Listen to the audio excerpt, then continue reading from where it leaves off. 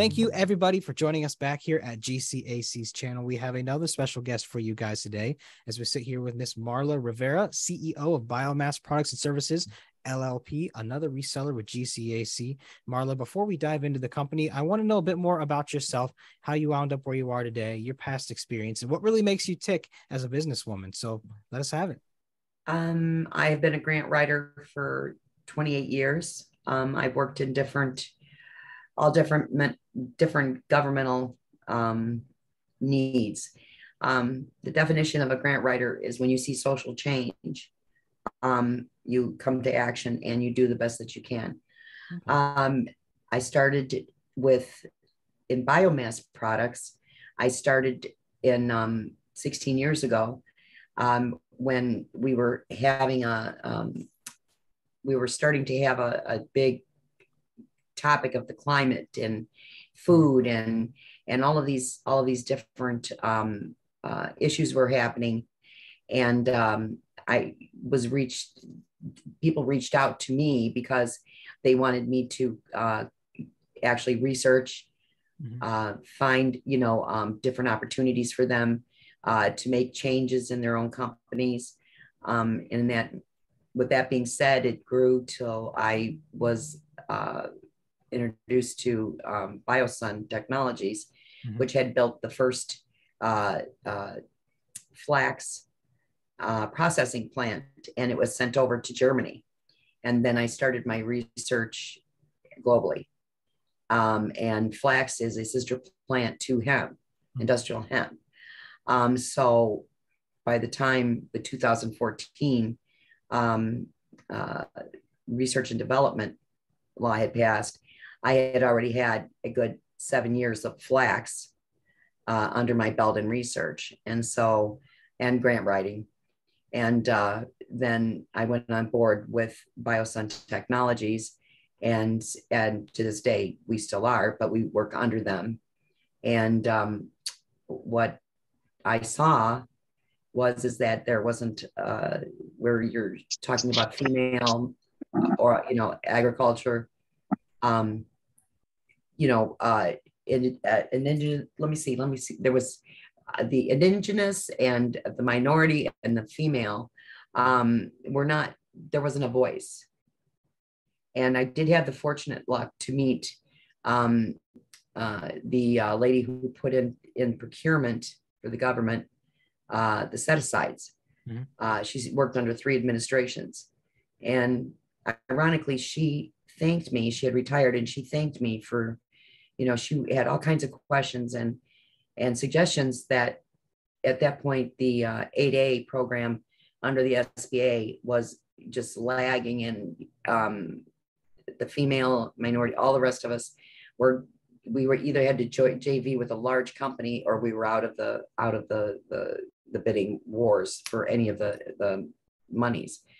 So I um, decided uh, I between 2014 and 2018, um, when we were waiting on the the actual uh, the actual laws to regulations, so on and so forth that we had anticipated, um, as you know, uh, became the uh, CBD craze. And in the meantime, I was doing research um, on a larger scale where I knew at that point that there was over 50,000 markets um, that primarily we were already using in our homes, mm-hmm. right down to the mascara, uh, you know, makeup, clothing, rugs.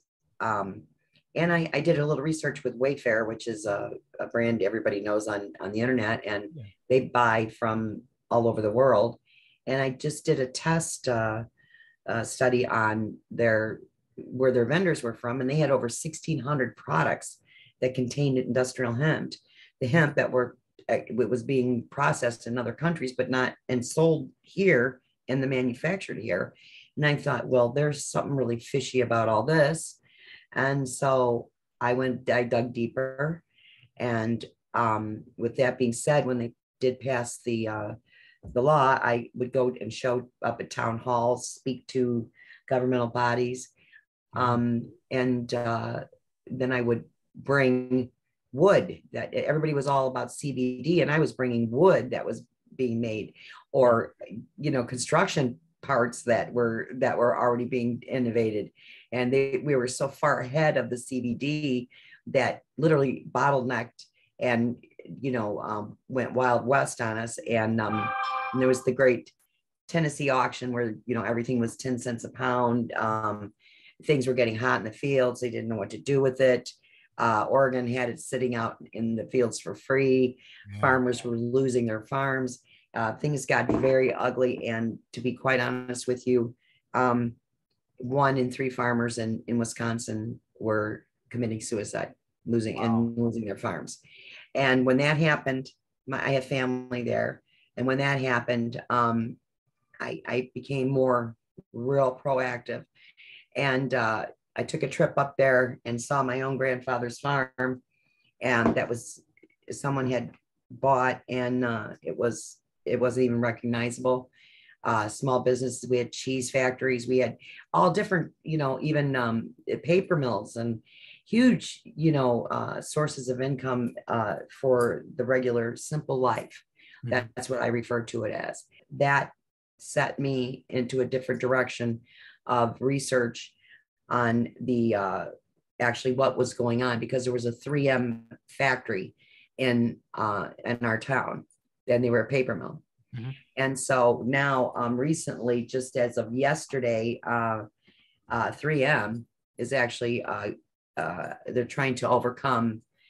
They're growing hemp to overcome all of the the uh, pollution challenges that they're having, and um, I mean, there's there's actually cleanup all over the United States of places where they've, you know, utilized uh, and and really ruined the soil.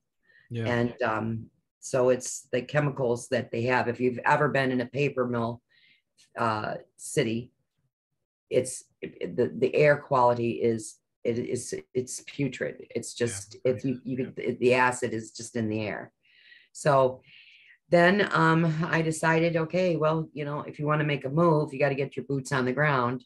Mm-hmm. And um, I decided um, I did work on a grant um, for BioSun and for biomass, and uh, actually included uh, these farmers co-ops. And I designed a, a, uh, a platform and uh, a, a whole process of that's there's there's a couple other individuals that I really respect a lot um, that uh, have made some differences and um, and one of them is is called uh, Body and Mind is is a group that they they saw the bottlenecks you know of the processing um, and uh, the the farmers that were getting uh, new regulations that until they show up at your door you don't know you've lost you've lost your farm you don't know. And um, so the education was very important. And i included that in the uh, the actual program. And gcac came my way and it was perfect. It fit. And not only did it fit for say industrial hemp but my first uh, conversation with gcac was i truly and i truly mean this that this is the way that all of our foods that we are we are ingesting and using um, should be tracked, traced. It should be transparent. You should be you should know um, that your five year old a, a, test results that just happened um, and was released that your five year old should not be urinating uh, pesticides. Yeah. And um, being a mother and a grandmother, uh, it really kind of aggravated me. So I thought, okay, then if that's how you want to do it, um, then you know we have to educate and make it easy for the farmer. Yeah, and that's what our goal is. And GCAC does that. It does help us make it very easy for them um, to uh, follow everything from, say, you know, Farmer Mike's farm from the minute the seed goes in and the quality of seed the biogenetics, all of that, all the way through till we get to the end. And there's a QRL code, and they know when you buy that, and, and uh, Farmer Mike's wife goes over to the market and she buys uh, tomatoes or she buys wheat or uh, bread that's made with it, if that QRL code is on there, then you know that what you're eating is healthy. That's what my goal is, and and my, this is the way, the natural way of the uh, uh, indigenous Indians and the people that that's the way they live.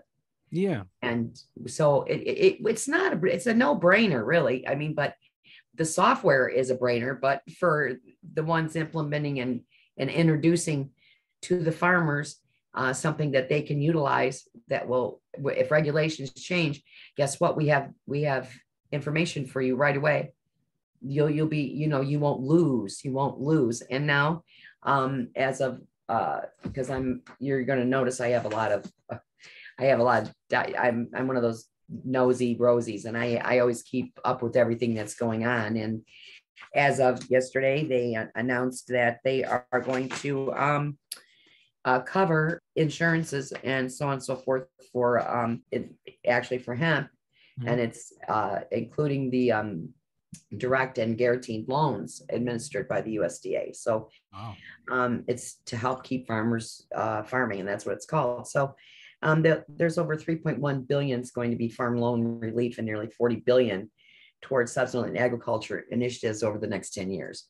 That sounds sounds a little maybe a little low on on but that's not to say that later on and I've seen grants change and I've seen them extend and everybody's familiar with an SBIR which is study and development and so on and so forth.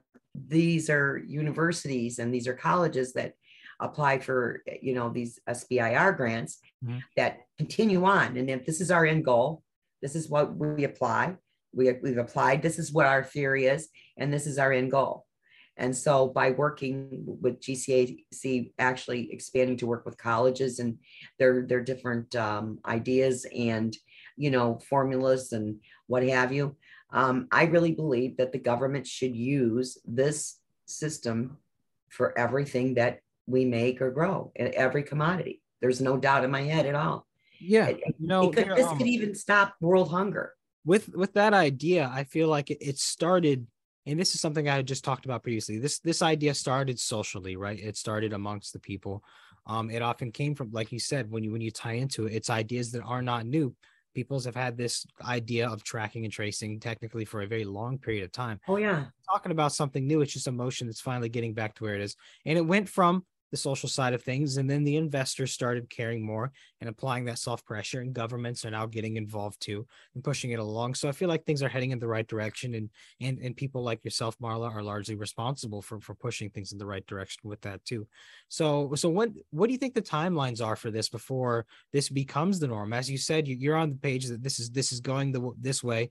GCAC and technologies as such are pushing things that way.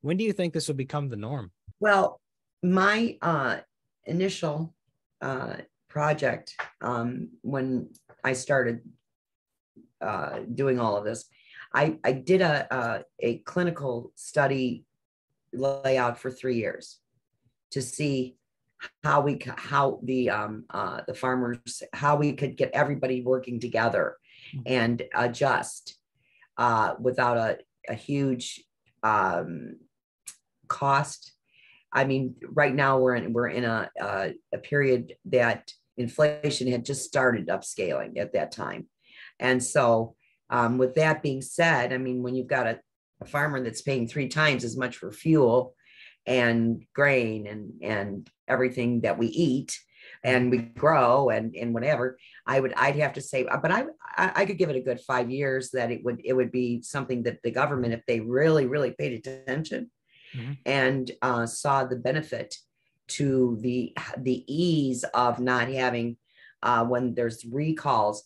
We had five recalls this week alone on food yeah. that could have been solved in a matter of days versus months.